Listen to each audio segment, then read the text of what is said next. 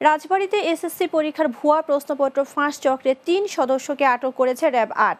গতকাল রাতে রাজবাড়ী জেলা সদরের বিভিন্ন এলাকায় অভিযান চালিয়ে তাদের আটক করা হয়। এ সময় তাদের কাছ থেকে প্রতারণার কাজে ব্যবহৃত ছয়টি মোবাইল ফোন জব্দ করা হয়। আজ দুপুরে সংবাদ সম্মেলনে এ তথ্য জানান র্যাব আট ফরিদপুর ক্যাম্পের কোম্পানি অধিনায়ক মেজর তালুকদার নাজমুস সাকিব। আটককৃতরা হল রাজবাড়ীর সদর উপজেলার ইন্দ্রনারায়ণপুর গ্রামের মতিন মিয়া গোপীনাথ দিয়া গ্রামের কামরুল হাসান ও একই গ্রামের জুয়েল হোসেন। র্যাব জানায়, আটককৃতরা কয়েকটি ওয়েব পেজ চালু করে এসএসসি পরীক্ষা সহ বিভিন্ন পাবলিক পরীক্ষার ভুয়া প্রশ্নপত্র তৈরি করে বিক্রির মাধ্যমে মানুষের সঙ্গে প্রতারণা করে আসছিল।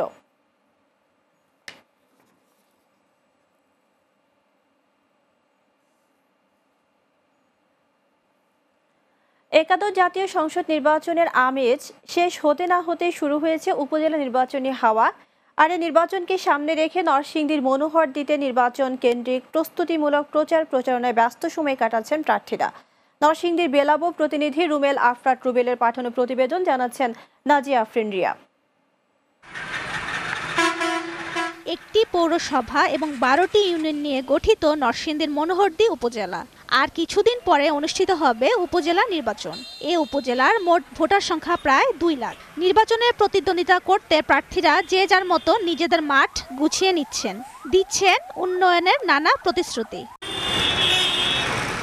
মনোহরদী উপজেলাকে দুর্নীতি ও মাদকমুক্ত, শৈল্পিক ও একটি মডেল উপজেলা গড়ার প্রত্যয় ব্যক্ত করেন প্রার্থীরা। বিভিন্ন কার্যক্রমের মাধ্যমে আগামী পাঁচ বছরে মনোহরদীকে জেলার শ্রেষ্ঠ উপজেলায় পরিণত করার কথা জানান উপজেলা চেয়ারম্যান প্রার্থী নজরুল মজিদ মাহমুদ স্বপন।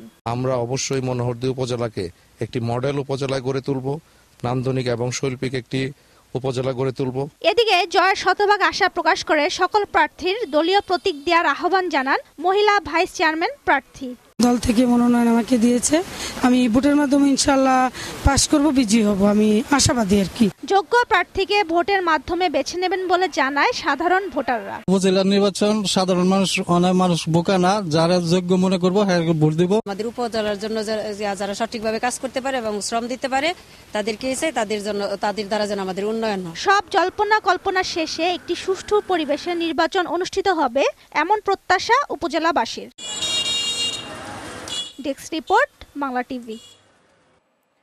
হবিগঞ্জের মাধবপুর উপজেলায় রিপা আক্তার নামে এক গৃহবধূ ঝুলন্ত লাশ উদ্ধার করেছে পুলিশ।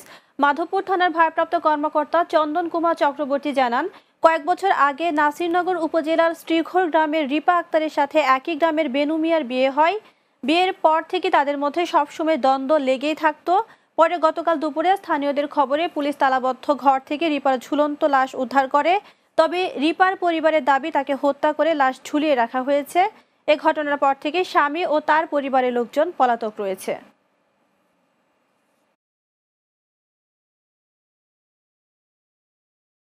পাবনার ঈশ্বরদীর পাকশি ইউনিয়ন আওয়ামী লীগের সাবেক সাধারণ সম্পাদক মুস্তাফিজুর রহমান সেলিম হত্যার প্রতিবাদ। আসামি গ্রেফতার ও বিচারের দাবিতে মানববন্ধন অনুষ্ঠিত হয়েছে। গতকাল বিকেলে ঈশ্বরদীর রূপপুর মোড়ে আয়োজিত এ কর্মসূচিতে আওয়ামী লীগ, বিভিন্ন শিক্ষা প্রতিষ্ঠানের শিক্ষক, শিক্ষার্থী সহ কয়েক হাজার মানুষ অংশ নেন। এ সময় বক্তব্য রাখেন আওয়ামী লীগ নেতা হাবিবুল ইসলাম, মুক্তিযোদ্ধা কমান্ডার আব্দুল খালেক, অতিরিক্ত police super Firozul Islam, UNO Ahmed Hossain Bhuiyan সহ অন্যরা। সেলিম হত্যার আসামিদের গ্রেফতার ও বিচার না হলে রাজপথে আন্দোলন অব্যাহত রাখার ঘোষণা দেন তারা। গত ছয় ফেব্রুয়ারি রাতে নিজ বাড়ির গেটে বন্দুকধারী সন্ত্রাসীরা সেলিমকে গুলি করে হত্যা করে।